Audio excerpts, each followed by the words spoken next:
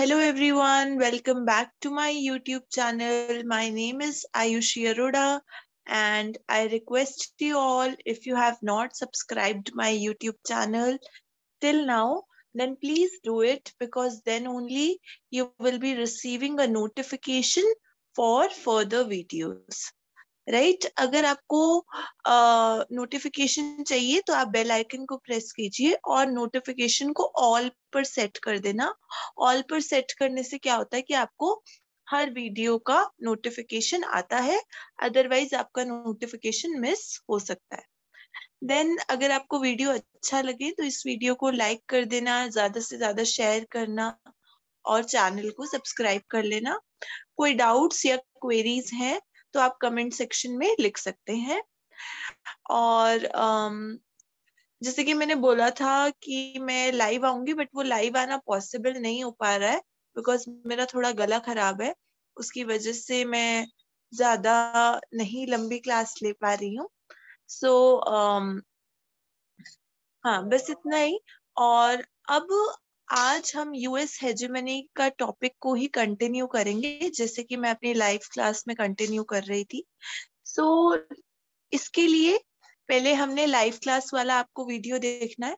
उसके बाद मैं एक वीडियो और डाल चुकी हूँ जिसके अंदर पीडीएफ में हमने यूएस हेजेमनी को डिस्कस किया है। उसके बाद एक और वीडियो डल चुका है जो कि इसी में पीपीटी को हमने डिस्कस किया है। पीपीटी की ही कंटिन्यूएशन में अब ये सेकंड वीडियो रहेगा। मतलब एक लाइव वीडियो है नंबर वन नंबर टू जो हमने पीडीएफ के साथ चैप्टर स्टडी किया था। और नंबर थ्री वाला पीपीटी एंड नंबर फोर्थ ये भी पीपीटी होगा। ठीक है? सो पीडीएफ में भी मेरे ख्याल एक या दो क्लासेस हो गए तो थोड़ा ऊपर नीचे हो सकता है। हो सकता है ये वीडियो फोर या वीडियो फाइव होगा। मुझे अभी ढंग से याद नहीं है बट जब अपलोड करूँगी तो उसमें करेक्टली आएगा। सो so, आज जो हम टॉपिक पढ़ने वाले हैं that is class twelfth political science of CBSE board मैं सबसे पहले आपसे रिक्वेस्ट करती हूँ कि लाइव वीडियो देख लेना क्योंकि उसके अंदर आपका कोल्ड वॉर भी कवर अप हो गया है। और कोल्ड वॉर के साथ साथ एक सेकेंड आपका बाइपोलैरिटी भी कवर अप हो चुका है। सो so, uh, एक मिनट बेटा रिकॉर्डिंग पॉज करना।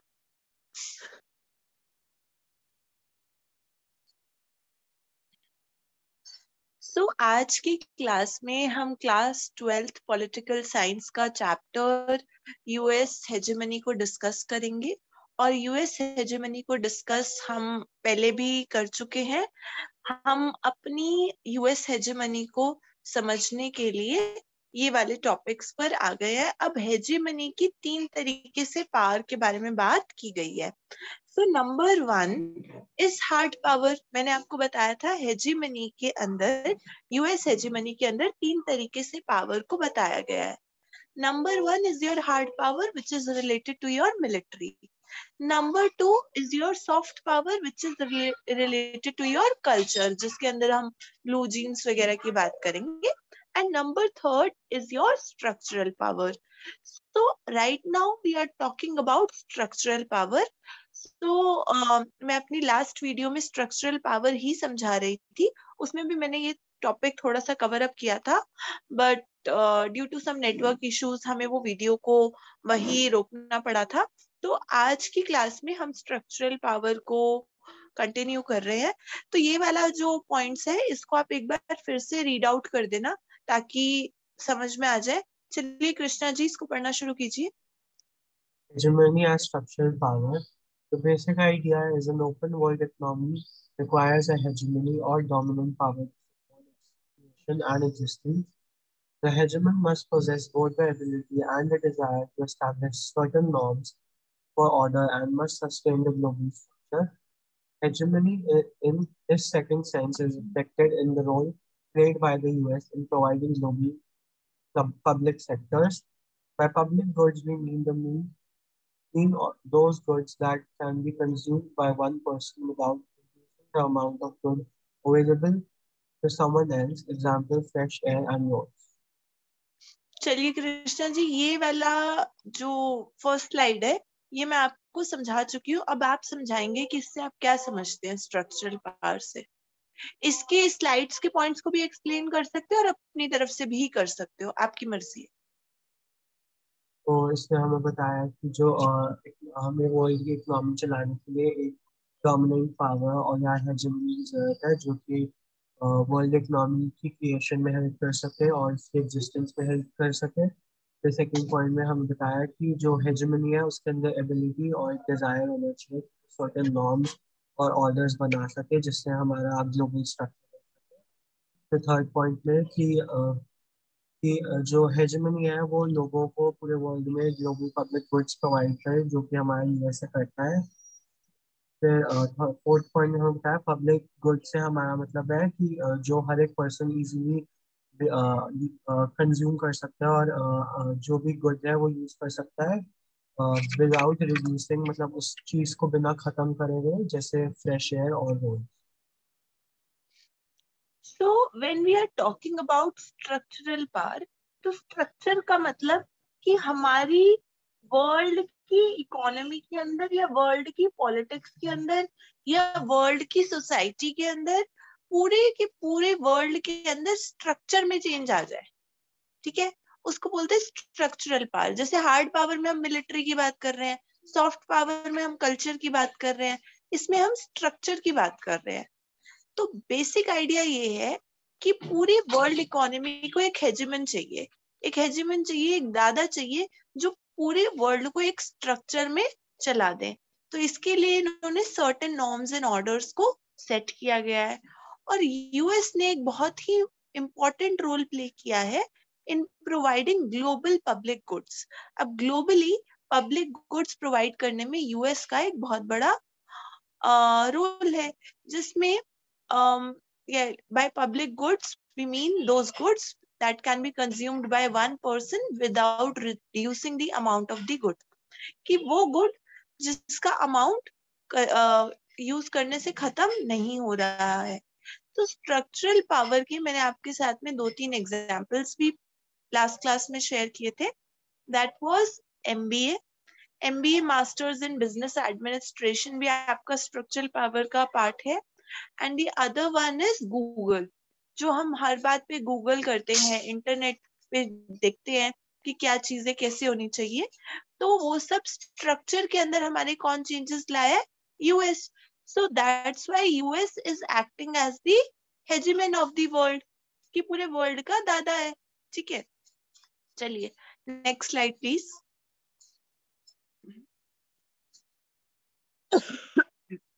हाँ जी पढ़िए Krishna In the context of the world economy, best examples of public goods are stainless of communication, SLOCS. These routes are commonly used by the merchant ships.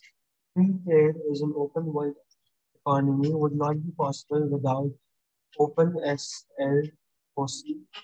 It is the naval power of the hegemon that underwrites the law of the sea and ensures freedom of navigation in international waters. Another example of global public good is the internet, the World Bank, the National Monetary Fund, and the World Trade Organization as products of American history.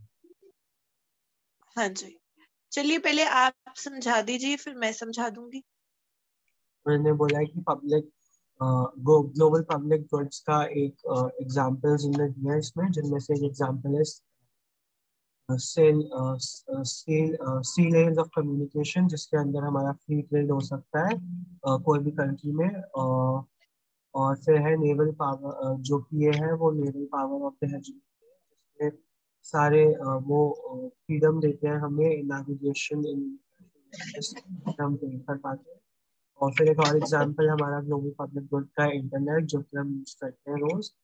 फिर और भी examples उन्होंने दिए जैसे world bank international monetary fund world trade organisation जो सारी चीज़ें हैं ये हमारा अमेरिका के थ्रू आया है और America American hegemony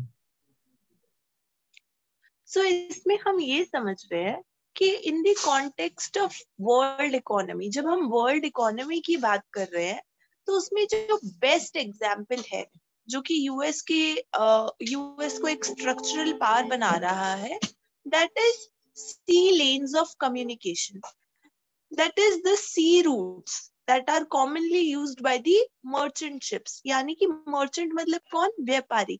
जो व्यापारी होते हैं, जो मर्चेंट्स होते हैं जो एक जगह से दूसरी जगह पर सामान को लेकर जाते हैं। So they are doing communication through sea routes वो सी रूट्स के थ्रू कम्युनिकेशन कर रहे हैं। अब जब वो सी रूट्स के थ्रू कम्युनिकेशन कर रहे हैं तो यूएस के द्वारा बनाया गया सबसे इम्पोर्टेंट पब्लिक गुड क्या हो गया? सी लेन्स ऑफ़ कम्युनिकेशन जैसे कि मैंने आपको बताया था कि इंटरनेशनल लेवल पर जो सी रूट्स का डेवलपमेंट है, वो आपके यूएस ने बहुत ही अच्छे तरीके से किया है।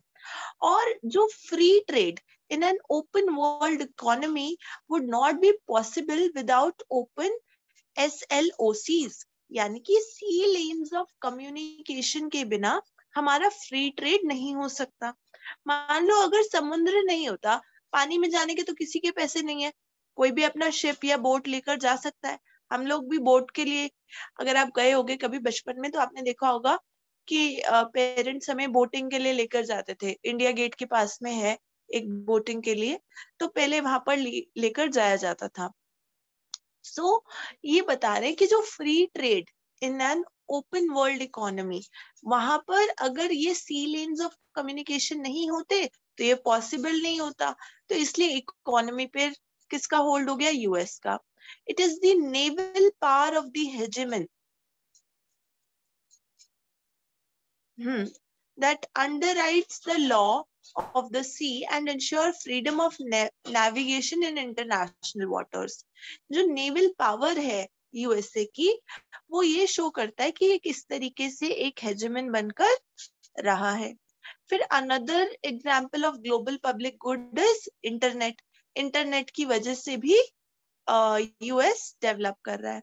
फिर आगे लिखा है द वर्ल्ड बैंक अब हम वर्ल्ड बैंक की बात करते हैं, कितना इंपॉर्टेंट है world bank IMF international monetary fund और W that is world trade organisation ये तीनों के तीनों ही किसके प्रोडक्ट है?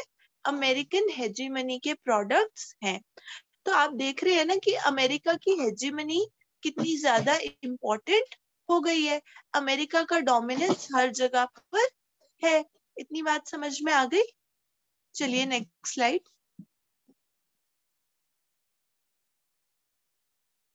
hmm.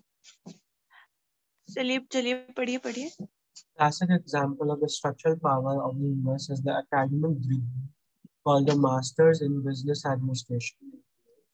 The first business school in the world, uh, the Wharton the Wharton School at the University of Pennsylvania was established in 1881. The first MBA courses were initiated around 1900 The first MBA courses outside the US was established in 1950. Today, there is no country in the world in which the MBA is not prestigious academic degree.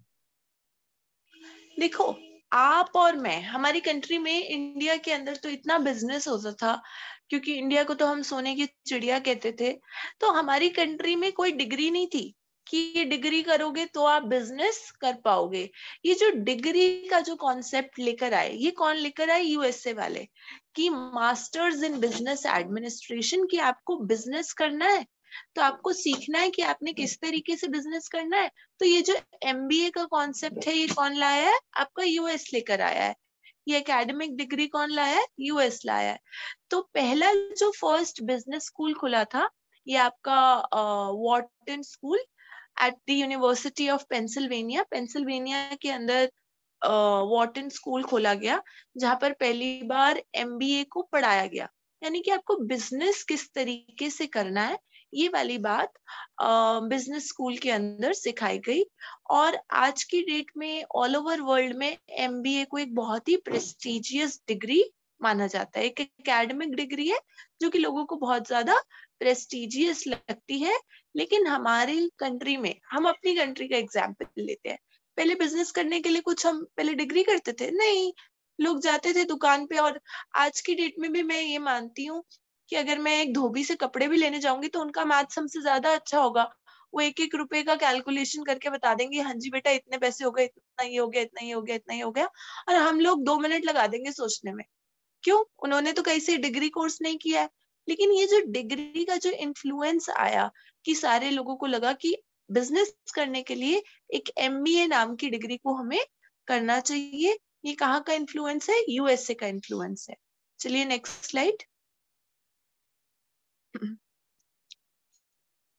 हाँ जी। एक बार बेटा पीछे वाली slide पे चले जाओ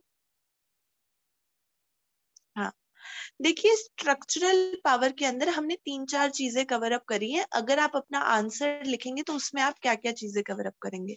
सबसे पहले आपको सी रूट्स की बात करनी है, क्योंकि जो सी रूट्स का सी लेन्स ऑफ़ कम्युनिकेशन जो है इंटरनेशनल लेवल पर वो यूएसए ने डेवलप किया है तो सो सी रूट सबसे ज़्यादा इंपॉर्टेंट हो गए। जब आप स्ट्रक्चर में चेंज आ गया ना सी में सी रूट में चेंजेस आ गया तो पूरे स्ट्रक्चर में चेंजेस आ गया। Number two number two is MBA MBA के अंदर एमबीए बहुत इंपॉर्टेंट हो गया। और uh, हाँ इसके अंदर सी रूट वाला हमेशा याद रखना एमबीए वाला याद रखना। और क्या पढ़ा है? और कुछ याद आ रहा है? इंटरनेट इंटरनेट की जो बात हुई गूगल की जो हमारे, हर बात पे गूगल करते हैं वो। चलिए आगे।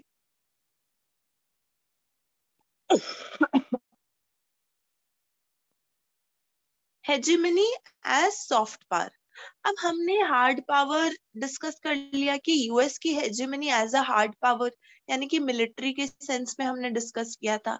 फिर हमने स्ट्रक्चरल पावर के अंदर डिस्कस कर लिया, जिसके अंदर आपका इंटरनेट आ गया सी रूट्स आ गए, और आपका एमबीए जैसी डिग्री आ गई। अब हम सॉफ्ट पावर की बात कर रहे हैं। जब हम सॉफ्ट पावर की बात कर रहे हैं तो मतलब हम क्या बात कर रहे हैं? हम कल्चर की बात कर रहे हैं। उस समय का कल्चर किस तरीके से इन्फ्लुएंस किया है। उस समय का नहीं, आज का भी कल्चर काफ़ी हद तक यूएसए ने ही इन्फ्लुएंस किया है। जैसे कि हम लोगों का अटायर चेंज हो गया है। अटायर चेंज होने से मतलब क्या है, पहले यहाँ के लोग क्या पहनते थे? धोती कुर्ता पहनते थे या कुर्ता पजामा पहनेंगे या विमेन जो है वो साड़ी या सूट पहनेंगी। लेकिन अब क्या कॉन्सेप्ट आ गया है? ब्लू जीन्स का कॉन्सेप्ट है। जो ब्लू जीन्स का जो कॉन्सेप्ट है, ये कौन लेकर आया है? आपका यूएसए लेकर आया है। फिर ये हो गया हमारे वेयरिंग के अंदर चेंजेस आ गए। तो यानी कि जो हमारा अटायर का जो कल्चर था, वो चेंज हो गया। अब साथ ही साथ में हमारी ईटिंग हैबिट्स भी चेंज हुई है। हमारे यहाँ पर लोग क्या खाना पसंद करते थे? पहले ढोकला खा लेंगे, खांडवी खा लेंगे या साउथ इंडिया में चले जाओ तो डोसा सांबर इडली इस तरीके से। लेकिन आज की सिनारियों में आज की यंग जनरेशन क्या खाती है? बर्गर खाती है। तो वो जो मैकडोनल्ड्स के जो बर्गर आए हैं, वो जो हमारा कल्चर चेंज हो गया है कि डोसा और सांबर को तो लोग ओल्ड स्कूल समझते हैं और वो बर्गर खाने को बहुत ज़्यादा पता नहीं क्या समझते हैं कि वी आर वेरी मॉडर्न तो इसलिए ये जो मॉडर्निटी का जो कॉन्सेप्ट है, जो हेजिमनी का कॉन्सेप्ट है, ये भी कहाँ से आया है? यूएस से आया यूएस ने हमारे कल्चर को इन्फ्लुएंस किया है। तो सॉफ्ट पावर में बेटा आप कल्चर से रिलेटेड चीज़ें लिखेंगे, जैसे कि ब्लू जीन्स हो गया, जैसे कि मैकडोनल्ड्स के बर्गर हो गए, उसके बारे में बात करेंगे। चलिए, अब इसको पढ़ना शुरू कीजिए। Hegemony as soft power. This third sense of hegemony is about the capacity to manufacture things Here, hegemony implies class ascending in the social, political, and particularly ideological spheres. The predominance mm. of the US in the world today is based not only on its military power and economic power, but also on its cultural. Young men and women often spend uh, over a year's salary to buy blue jeans, foreign tools on the black market. Hmm. so, जो third sense है पहले first sense में हमने military की बात की which is your hard power second में हमने स्ट्रक्चर की बात की. तीसरे में हम बात कर रहे हैं is about the capacity to manufacture consent भाई अगर हम अमेरिका की बनी हुई ब्लू जीन्स को खरीद रहे हैं तो यानी कि अमेरिकन मार्केट प्रोग्रेस कर रही है उस समय पर है ना? इकोनॉमिकली अमेरिका स्ट्रांग बन रहा है जिसके पास ज़्यादा पैसा होगा obviously that country will become a hegemon a dominating power all right तो ये जो मैन्युफैक्चरिंग कंसेंट है, ये कौन कर रहा है आपका? यूएस तो hegemony implies class ascendancy in the social, political and particularly ideological sphere. कि क्लास एसिडेंसी की हमारी क्लास क्या है? हाई क्लास है। Whether we are talking about society polity और वेदर इन आइडियोलॉजिकल स्पेयर्स तो मैंने आपको जैसे कि बताया कि ब्लू जीन्स को पहनना लोग क्या समझते हैं? बहुत ज़्यादा हाई क्लास है। धोती कुर्ता आजकल लोग अवॉइड करते हैं। या हम जैसे लोग भी सूट, साड़ी पहनना अवॉइड करेंगे, है ना? हम ज़्यादातर ब्लू जीन्स पहनेंगे। We will think it is very modern and we will think कि ये कंफर्टेबल भी होता है थोड़ा पहनने के लिए। तो इस चक्कर में तो ये यूएस की hegemony as a soft power आने लगी। अब बात कर रहे हैं the predominance of the US in the world today is based not on only on its military power and economic power but also on its cultural presence तो जैसे कि मैं आपको बता चुकी हूँ कि यूएस की हेजीमनी सिर्फ़ मिलिट्री पावर और इकोनॉमिक पावर पर बेस्ड नहीं है। ये किस पे बेस्ड है? उसके कल्चरल प्रेजेंस के ऊपर बेस्ड है, यानी कि कल्चर इन्फ्लुएंस कर रहा है। आगे young man and often spend over a year's salary to buy blue jeans. देखो, ऐसे पहले होता था, अब तो खैर ब्लू जीन्स थोड़ी सस्ती हो गई है। ये पहले का आपको बता रहे हैं, उस समय जब शुरू शुरू में ब्लू जीन्स आई थी, तब उस समय पर ना ऑन दी ब्लैक मार्केट तो लोग जैसे होता है ना कि कोई मूवी की टिकट होती है कई बार नहीं मिल रही होती तो लोग ब्लैक में खरीदते हैं टिकट मतलब ब्लैक में खरीदने का मतलब है ज़्यादा पैसे देकर टिकट खरीदते हैं मूवी की। कि नहीं मिल रही तो ज़्यादा पैसे देकर खरीद लेते हैं। तो सिमिलर मैनर में उस समय पर जो ब्लू जीन्स है जो आप और मैं आजकल ब्लू जीन्स पहनते हैं तो वो ब्लू जीन्स का जो कॉन्सेप्ट है ये आ, कब आया है? यूएस हेजीमनी का है और ये लोग ब्लैक मार्केट से लोग ब्लू जीन्स खरीदने लगे। आगे चलो। हम्म तो अब आपके यूएस हेजेमनी की जो तीन टॉपिक है US hegemony as hard power as soft power as structural power ये तीनों कवर अप हो चुके हैं। That was the most important concept उधर से आपके वन मार्कर ज़रूर आएँगे। ठीक है? आपसे पूछेंगे सॉफ्ट पावर क्या है तो आप बताएँगे कल्चर है। बाकी चीज़ों पे टिक मार्क मत करना एमसीक्यू में। कल्चर है तो ऑब्वियसली मैकडोनल्ड्स का बर्गर और आपका attire that is your blue jeans ये सॉफ्ट पावर में आ जाएगा। स्ट्रक्चर में क्या क्या आएगा? स्ट्रक्चर में आपका इंटरनेट आपका सी रूट और M B A masters in business administration ठीक है? जो कि बहुत महत्वपूर्ण आज की डेट में डिग्री बन चुकी है। फिर आपका हार्ड पावर की बात करेंगे तो आप बताएँगे मिलिट्रली सबसे ज़्यादा पावरफुल है यूएस से बारह कंट्रीज़ अगर इकट्ठे भी मिल जाएँ तो भी वो यूएस की मिलिट्री पावर को कैप्चर नहीं कर पाती, क्योंकि बारह कंट्रीज़ के बराबर जितना स्पेंडिंग होता है स्पेंडिंग हाँ बारह कंट्रीज़ जितना स्पेंडिंग करती, उससे ज़्यादा यूएस की मिलिट्री के ऊपर स्पेंड किया जाता है। मतलब बारह कंट्रीज़ क्या पता साथ में आकर डिफीट कभी कर भी दे बट ऐसा होता नहीं है यूएस की मिलिट्री बहुत ज़्यादा पावरफुल है। अब बात करेंगे constraints on American power constraints का मतलब होता है रिस्ट्रिक्शन किसी भी चीज़ के ऊपर कोई ना कोई रिस्ट्रिक्शन भी तो होती है होती है कि नहीं? कि आप और मैं कह रहे हैं कि हमारे पास में फुल तरीके की फ्रीडम है। हम जो चाहे खा सकते हैं, जो चाहे पहन सकते हैं। लेकिन फिर भी हमारे पेरेंट्स हमारे ऊपर कुछ रिस्ट्रिक्शन तो रखते होंगे ना। बोलते होंगे, बेटा, कभी झूठ मत बोलना, कभी कोई गलत काम मत करना। है ना? आपको अच्छी बातें सिखाते होंगे। तो उसी तरीके से अमेरिकन पार के ऊपर किस तरीके की रिस्ट्रिक्शन है? हमने बोल दिया कि अमेरिका एक हेजिमन है। हेजिमन है, एक दादागिरी कर रहा है अपनी whether in the form of hard power in the form of soft power in the form of structural power लेकिन क्या क्या रिस्ट्रिक्शंस है अमेरिका के ऊपर उसके ऊपर बात करेंगे कॉन्स्ट्रेंट्स का मतलब होता है रिस्ट्रिक्शन जिनको नहीं पता है वो लिख लें आगे पढ़िए constraints on American power. The first constraint is the institutional architecture of the American state a system of division of powers between the three branches of the government places significant brakes upon the under-restrained and the moderate exercise of the American military power by the executive branch. हाँ जी क्या समझ में आया नहीं आया मैं समझाऊं इसमें बोल रहे हैं कॉन्स्ट्रेंट का मतलब होता है रिस्ट्रिक्शन अभी तक हमने बात करी बेटा हेजिमन है दादागिरी चल रही है लेकिन उसके ऊपर भी कोई रिस्ट्रिक्शंस हैं, उन रिस्ट्रिक्शंस को हम पढ़ेंगे। हो सकता है यहाँ से आपका क्वेश्चन एक आधा बन जाए।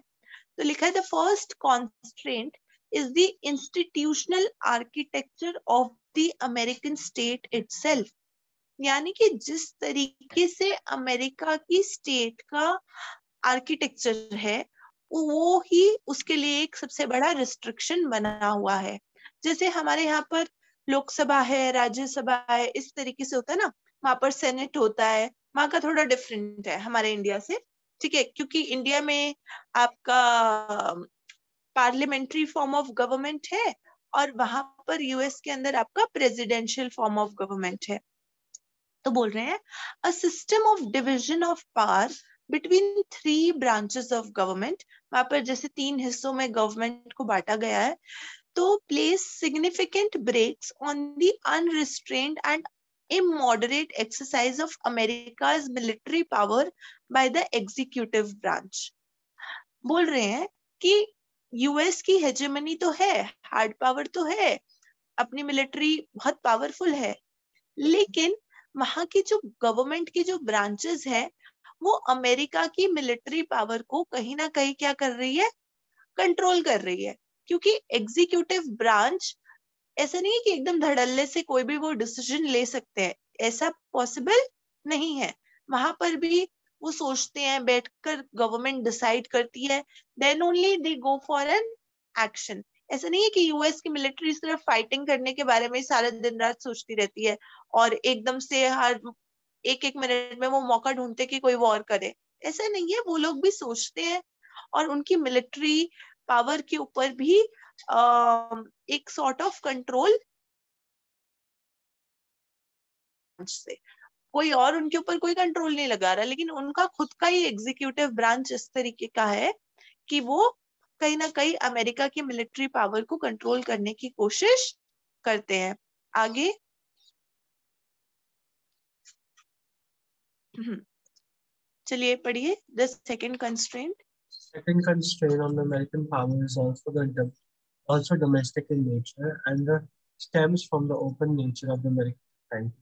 Although the American mass media may from time to time impose or promote a particular perspective on domestic public in the US.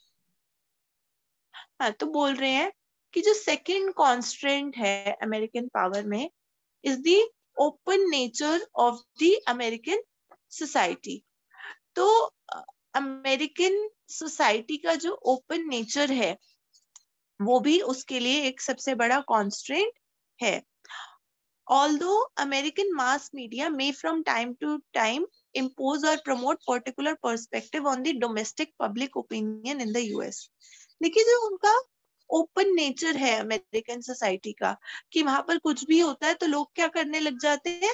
एकदम से प्रोटेस्ट करने लग जाते हैं। जैसे कि अभी आपने रिसेंटली न्यूज़ में देखा होगा कि जॉर्ज फ्लॉइड जो एक काले रंग के आदमी को जब मारा गया था वहाँ पर तो वहाँ की सारी पब्लिक रोड पे लेट गई थी और प्रोटेस्ट करने लग गई थी।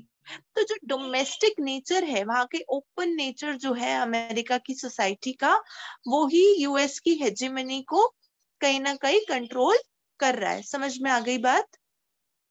और वहाँ की मास मीडिया इम्पोज करती रहती है अगर गवर्नमेंट कुछ भी गलत डिसीज़न लेती है या ज़्यादा एज अ हिटलर बिहेव करने लगती है तब ये चीज़ें पता चल पाती हैं हाँ जी चलिए आगे next slide please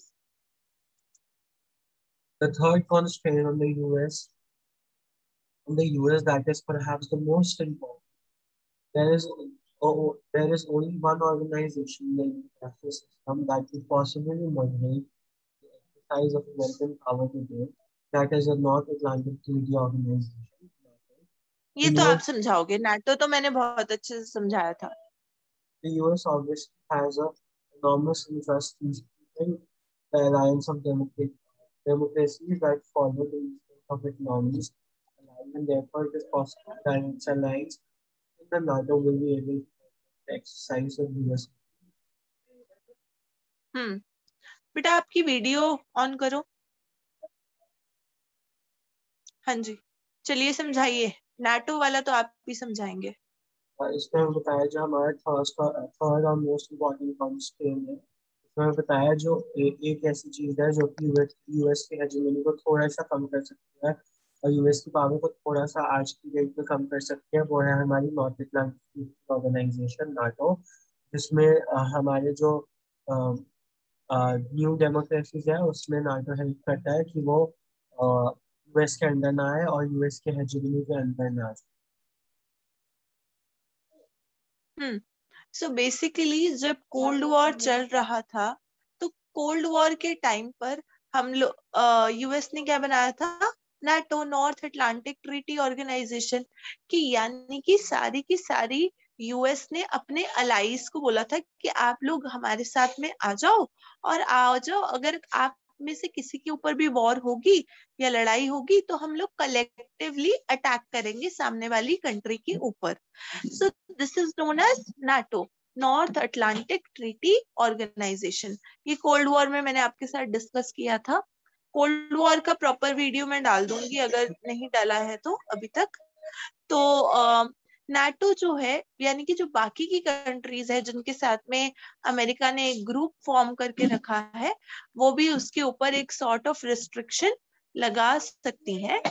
The US obviously has an enormous interest in keeping the alliance of the democracies that follow the market economies alive therefore, it is possible that the allies in the nato will be able to moderate the exercise of the us hegemony.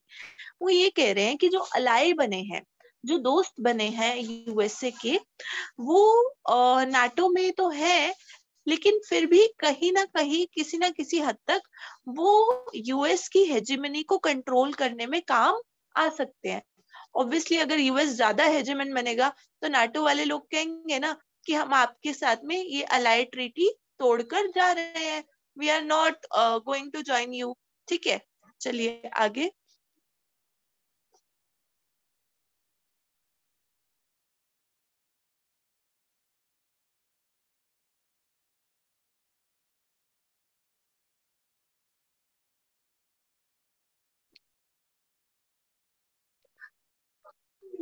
अच्छा ये got it पे click करने के लिए आ रहा है हाँ मेरे को लग रहा है ये न्यू ही होगी रिकॉर्डिंग हाँ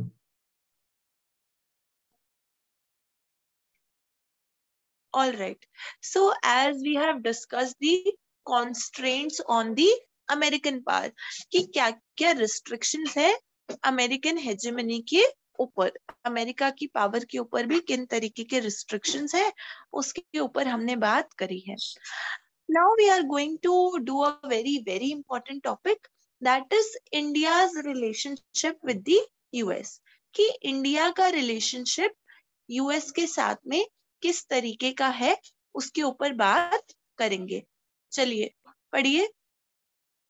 India's relationship with the US during the Cold War years India found itself on the opposite side of the divide from the US. The US absorbs about 65% of India's total export to the software sector.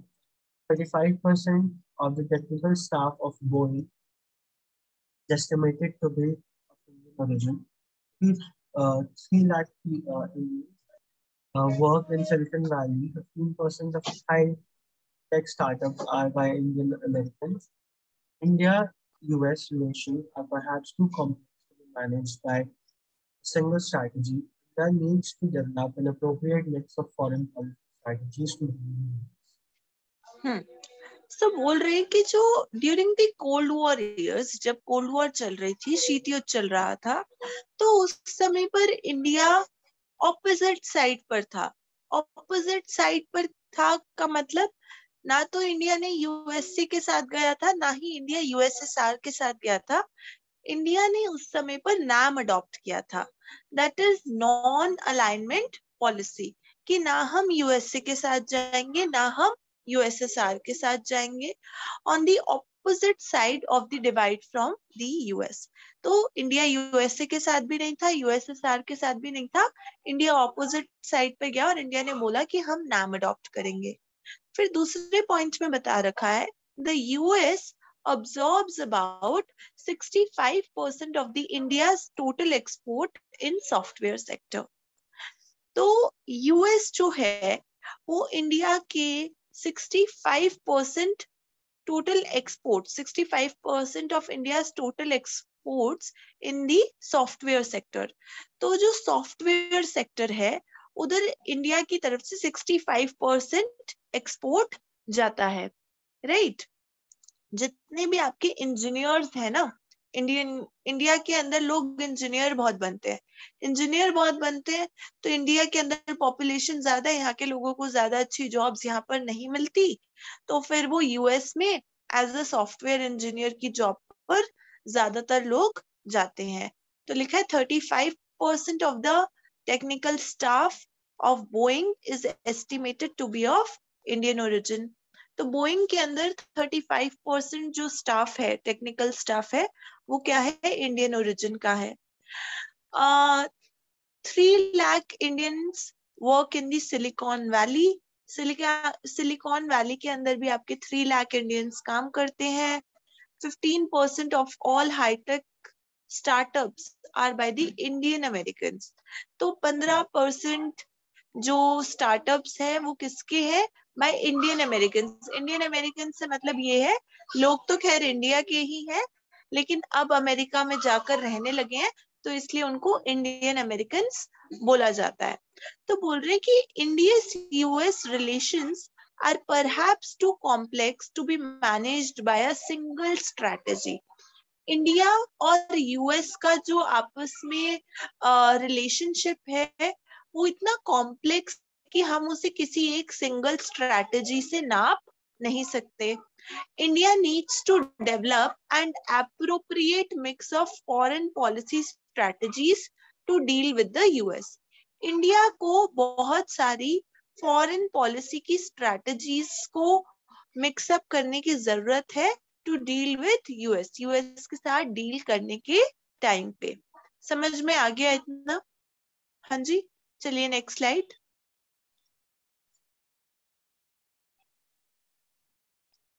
पढ़िए In India, the debate seems to be around three possible strategies. Those Indian hmm. analysts who see international politics rally largely in terms of military power are fearful, are fearful of the growing closeness between India and the US. They would prefer that India maintain its fullness from Washington and the focuses on focuses upon increasing its own compressive national power. So बोल रहे कि within India the debate seems around to be three possible strategies तो तीन strategies के ऊपर debate की जाती है ठीक है तो भाई इंडिया का यूएस के साथ किस तरीके का रिलेशनशिप रहे, इसके लिए तीन स्ट्रैटेजीज के ऊपर डिबेट करते हैं। पहले आप समझा दो इसको, फिर मैं समझा देती हूँ। उन्होंने बताया कि हमारा जो रिलेशन है यूएस के साथ वो ज़्यादा मिलिट्री के मिलिट्री पावर के बेसिस में है और कुछ लोग ये प्रेफर नहीं करते कि इंडिया को यूएस के साथ अपनी क्लोजनेस पर आनी चाहिए मिलिट्री पावर के लिए क्योंकि थोड़े से उनको डर भी लगता है कि अगर इंडिया यूएस साथ में आ गया तो हो सकता है कोई वॉर में उनको डिफीट करने में और फिर उन्होंने बोला कि इंडिया को यूएस के साथ हमें मिलिट्री पावर ना बनाने से अच्छा अपने खुद के नेशनल पावर पे ध्यान दें हम्म, तो बहुत सारे ऐसे इंडियन एनालिस्ट है जो कि इंटरनेशनल पॉलिटिक्स को मिलिट्री की टर्म्स में देख रहे हैं। कि उनके लिए युद्ध ही सब कुछ है मिलिट्री पावर ही सब कुछ है।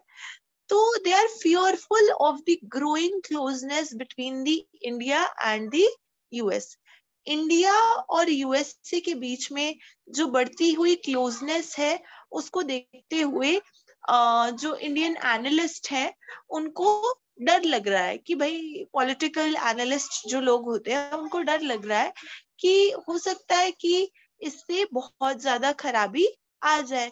हो सकता है ज़्यादा दोस्ती बढ़ जाए तो उसके बाद इंडिया को भी किसी ना किसी वॉर में पार्टिसिपेट करना पड़ जाए।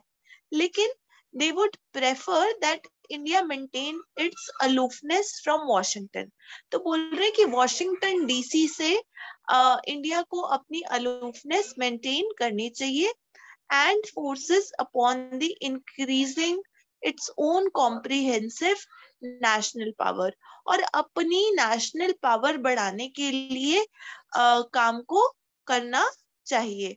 ठीक है? आगे चलिए।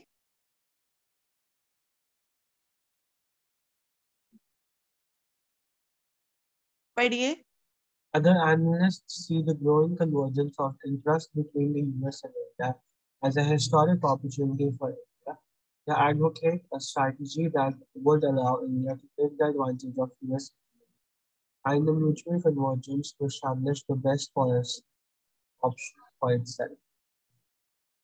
हाँ जी एक्सप्लेन करो कि जो कुछ एनालिस्ट हैं वो कह रहे हैं कि जो इंटरेस्ट है दोनों यूएस और इंडिया के बीच ये इंडिया के लिए एक अच्छी ऑप्शन हो सकती है जिससे यूएस की हेजमनी की वजह से अपने जो यूएस जो इंडिया है वो अपनी कुछ चीज़ें हैं वो भी पूरी कर सके और जब अपने आप को थोड़ा सा डेवलप बना सके। सो so, देखो कुछ लोग बोल रहे हैं कि इंडिया और यूएस का कन्वर्जेंस अगर होता है दोनों आसपास आसपास आ जाते हैं अगर उनकी क्लोजनेस बढ़ जाती है then it is a very good thing ठीक है? उससे आपका चीज़ें बहुत अच्छे तरीके से होने लगेंगी।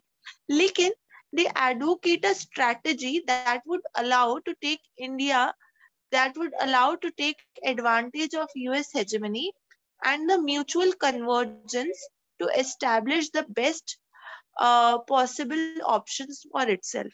कुछ लोग कह रहे हैं कि बिल्कुल ही कन्वर्जेंस हो जाना चाहिए कुछ लोग कह रहे हैं कि इंडिया को एडवांटेजेस लेने चाहिए यूएस हेजेमनी के ताकि म्यूचुअल कन्वर्जेंस हो जाए और दोनों ही अपने अपने मतलब इंडिया जो है बेस्ट पॉसिबल ऑप्शन निकाल सके, यानी कि अपने फ़ायदे का सौदा कर ले। इतनी बात समझ में आ गई? हाँ? प्रियांशु जी, एक मिनट रिकॉर्डिंग स्टॉप करो, यहाँ पे बहुत शोर आ रहा है, मैं दरवाज़ा ऑन कर दू? हम्म? चलिए नेक्स्ट स्लाइड इतना समझ में आ गया ना?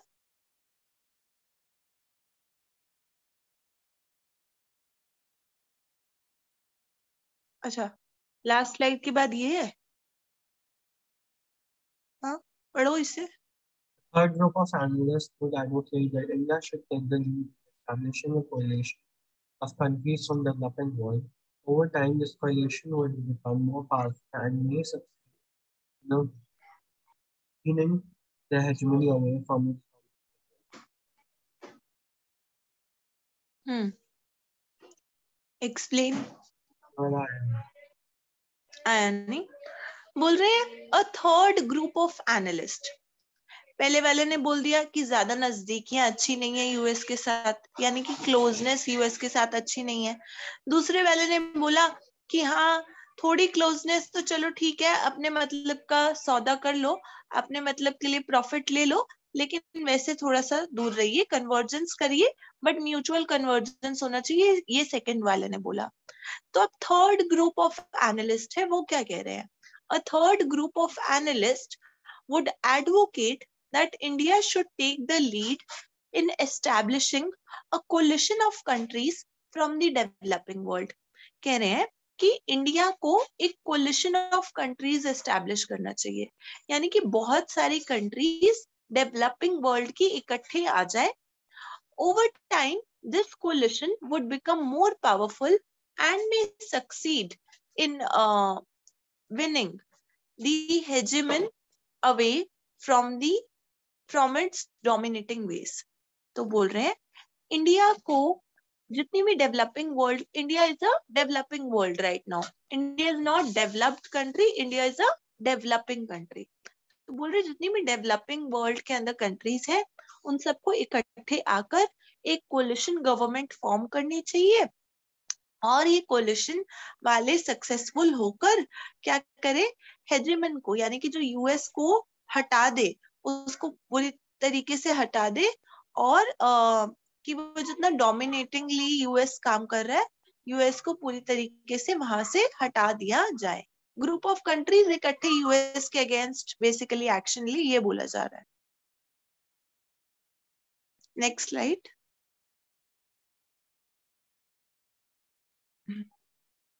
how can hegemony be overcome? It is a very very very important topic. ये दोनों स्ट्रैटेजीज बैंड वैगन स्ट्रैटेजी और हाइट स्ट्रैटेजी दोनों ही स्ट्रैटेजीज बहुत ज़्यादा इंपॉर्टेंट है। इसके अंदर हम बात करेंगे how can hegemony be overcome कि किस तरीके से हम हेजिमनी को रोक सकते हैं या उससे ऊपर उठ सकते हैं। तो इसके लिए दो स्ट्रैटेजीज की बात की गई है। ये दोनों स्ट्रैटेजीज आपके एमसीक्यू में आएँगी ही आएँगी। अगर यहाँ पर मतलब मोस्ट प्रोबेबली ये स्ट्रैटेजीज के ऊपर क्वेश्चन बन सकता है चलिए आगे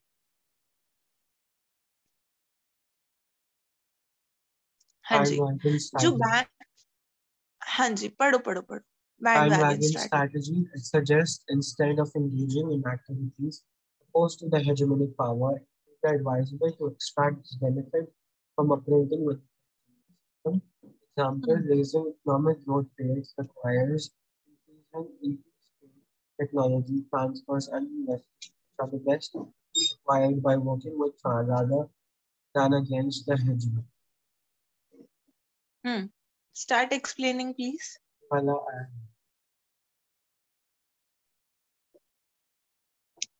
see bandwagon strategy इसका क्या मतलब है इट सजेस्ट मेरे यहाँ पे बच्चे बहुत शोर मचा रहे हैं उनकी आवाज़ें आ रही हैं क्या आपको थोड़ी थोड़ी आ रही थोड़ी थोड़ी आ रही है।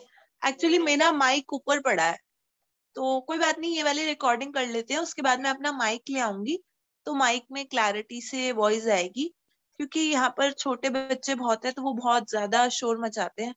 इस वजह से। सारा दिन ये शोर मचाते रहते हैं। All right, it suggests instead of engaging in activities opposed to the hegemonic power, it may be advisable to extract benefits by operating within the hegemonic system. What are they saying? वो कह रहे हैं कि instead of engaging in activities opposed to the hegemonic power, उन activities में engage हो जो कि हेजेमेनिक पावर के ऑपोजिशन में है it is advisable to extract benefits by operating within the hegemonic system कि हेजेमोनिक सिस्टम के अंदर ही हमें काम करना चाहिए rather than going in opposition कि मैं और आप दोनों मिलकर हेजीमनी को अपोज ना करें, बल्कि जो हेजीमनी का जो सिस्टम यूएसए ने चलाया है, उसी के अंदर हम काम करें और हेजीमन हेजीमोनिक सिस्टम से हम उसका बेनिफिट ले पाए। ठीक है? इतनी बात समझ में आ गई? कि हम हेजीमनी को अपोज ना करें और हेजीमनी सिस्टम के अंदर से ही हम बेनिफिट्स ले पाए। एग्जाम्पल्स क्या क्या दे रखे हैं? Raising economic growth rates requires increase trade hegemony की वजह से सी रूट डेवलप हुआ तो ट्रेड भी तो बढ़ा, हमें भी तो फ़ायदा हुआ। फिर बात कर रहे हैं technology transfer and investment internet आया तो हमें भी तो फ़ायदा हुआ कि नहीं हुआ?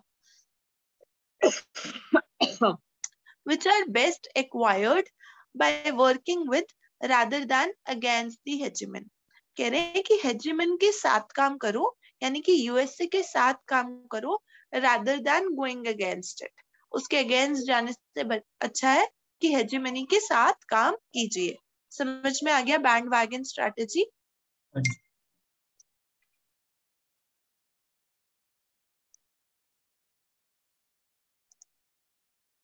एक सेकेंड बेटा मैंने ये बच्चों को बोल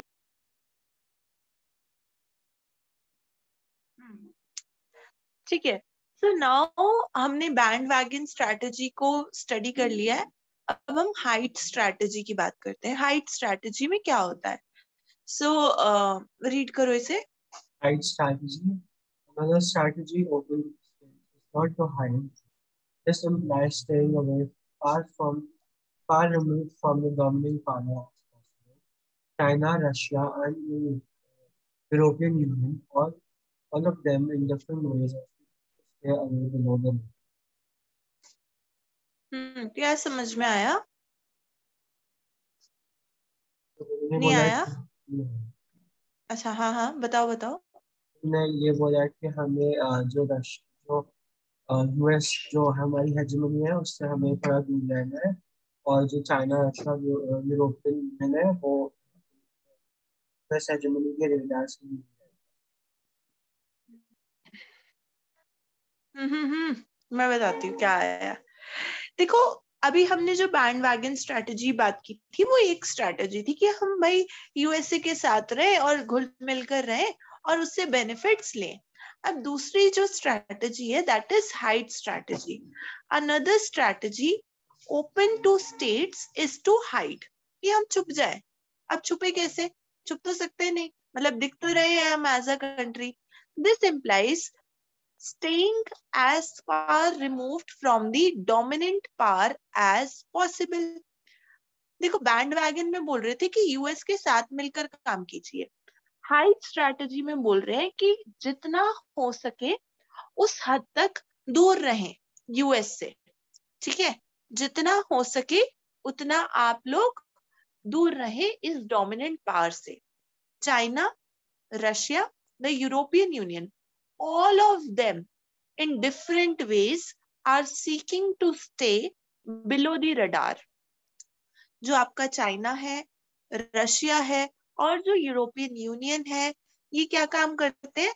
ये हाइट स्ट्रैटेजी को अपनाते हैं कि समय समय पर ये छुप जाते हैं। बिलो द रडार आ जाते हैं। यानी कि यूएस से बचने के लिए चाइना वाले भी छुप जाते हैं और रशिया वाले यूरोपियन यूनियन वाले ये रडार के नीचे आ जाते हैं। यानी कि कहीं ना कहीं हाइड हो जाते हैं यूएस से। चलिए आगे।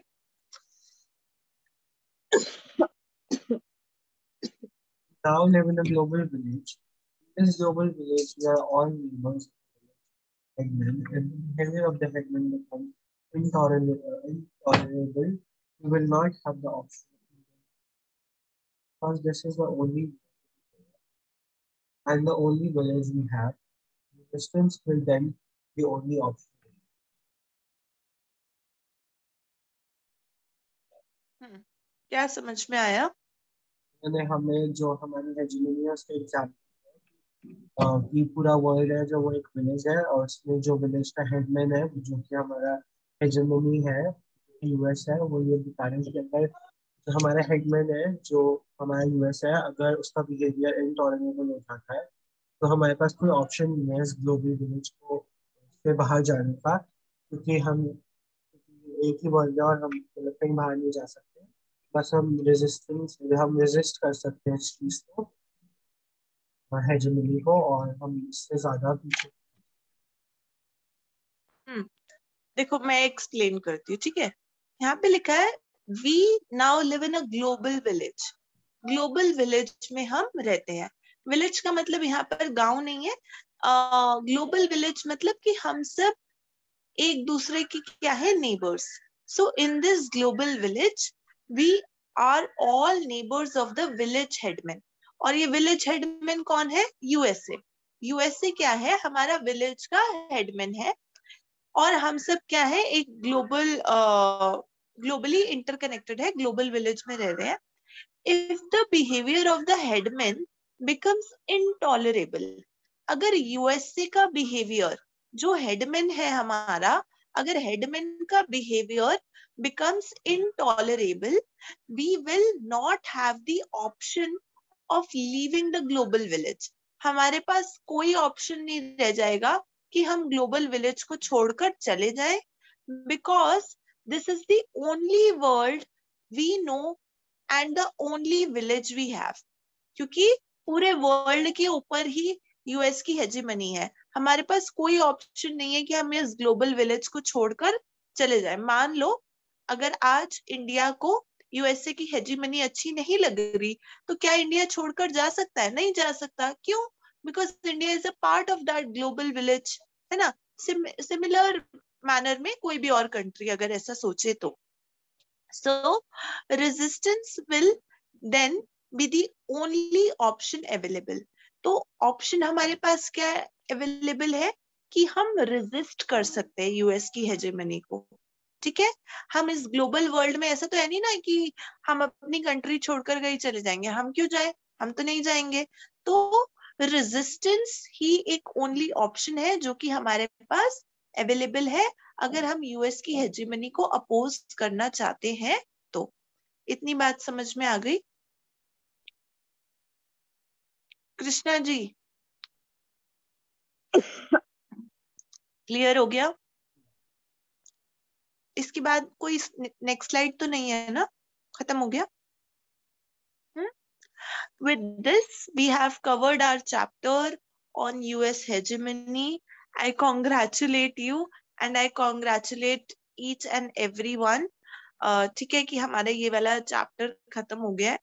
सो so, um, अगर आपको ये वीडियो अच्छा लगा हो तो प्लीज़ इस वीडियो को लाइक कर देना शेयर कर देना। अगर कोई डाउट्स है, कोई क्वेरीज है then you can write down in the comment section I would be happy to answer कई बार मैं आपके कमेंट्स का जवाब नहीं दे पाती हूँ।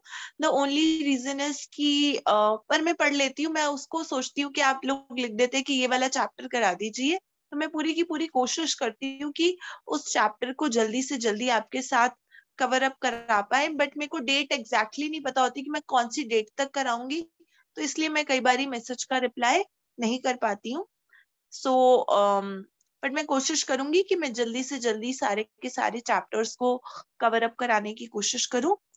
Okay bye see you in the next video thank you so much have a great day have a blissful day